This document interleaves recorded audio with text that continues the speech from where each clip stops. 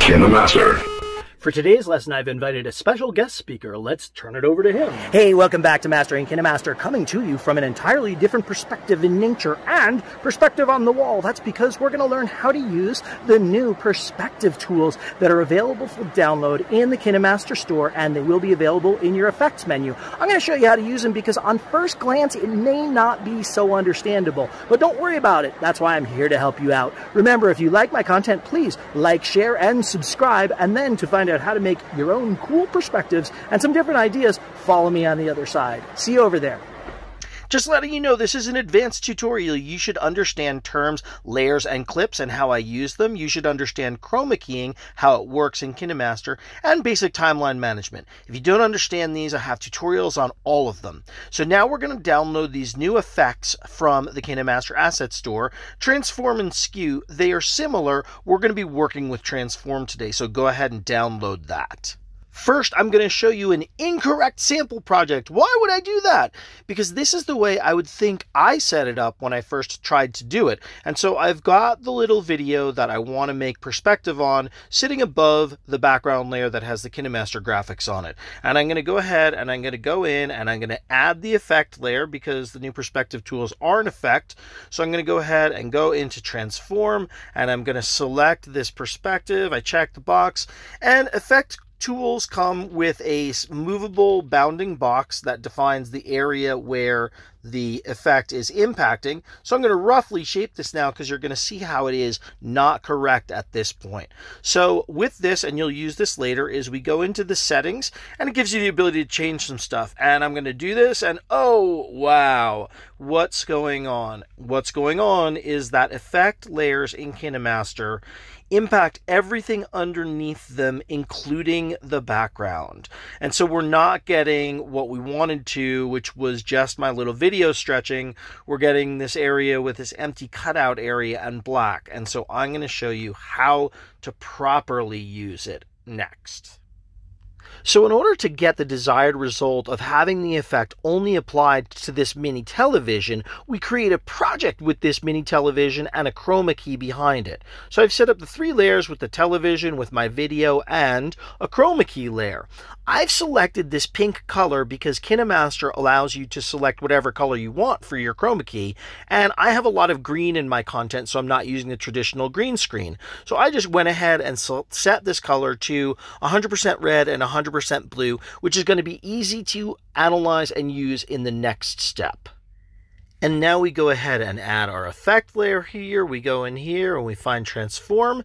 And perspective one is the easiest one to use and explain. Uh, the other ones are similar. You can play with them, but I'm going to show you with just perspective one.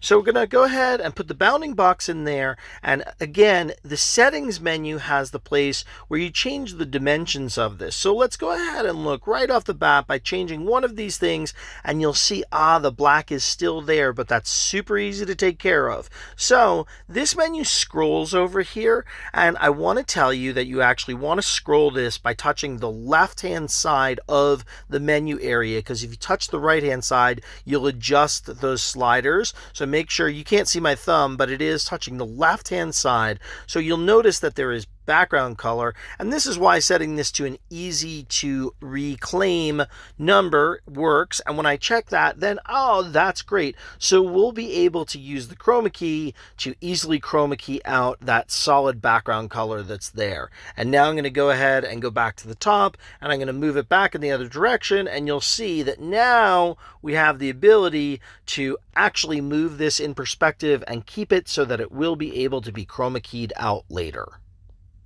I'm not going to go into too much detail into every one of these menus. A couple of things is that they use X and Y, slope X, slope Y, extent X, extent Y. Remember that X is horizontal and Y is vertical related to something. I want to show you that almost all of these will, if you push them too far, they'll send your content outside of the area where there is this kind of box that we don't see, but we don't want to go past that. However, there are other ones in all of the tools that help so you can avoid that. In this one, it is the extent, which is another word for size. So it makes it more narrow and small, and then that gives you the ability to make it more perspective and you can play with the perspective more if you shrink the extent. I think in some of the other ones it actually is called size. In addition, position will just move it sliding back and forth across, and so if you've made it more narrow on this side, then you can use position to compensate for the fact that it gives you more room inside of the box to use with. Aside from that, I'm not going to again show too much. It's really about setting the perspective and playing around with these slopes and getting it to match in the composition that you have the way that it actually will look like it fits into your scene that you have available to you. Once you have those all set, then you stretch your effect out to the far end of your composition.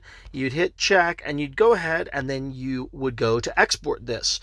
In this case, I export on full quality anytime that I'm reusing my content inside of another KineMaster movie. I export on full quality, uh, not like my export settings for uh, use on the web because you get the highest quality to do this. We export this and then we're going to bring it into our other project.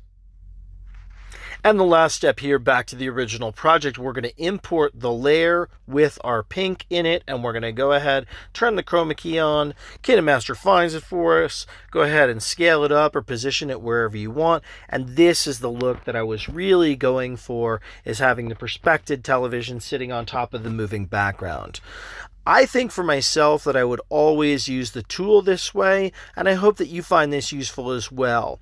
I didn't go over all of the other options for this tool because there's so many, but that's for you to go and explore. Just the methodology I think is really important so you get it looking with this separated perspective thing. Hopefully you guys can do something really cool with it on your own. Okay, I hope that was helpful with these new and interesting tools. Remember, if you like my content, please like and subscribe. And if you have any ideas, suggestions, or thoughts for future tutorials, please put them in the comments below. I always get back to people, and now it's your turn to get out there and do something awesome and creative with KineMaster, the best mobile video platform for your phones and devices. I'll see you the next time. Thanks for stopping by.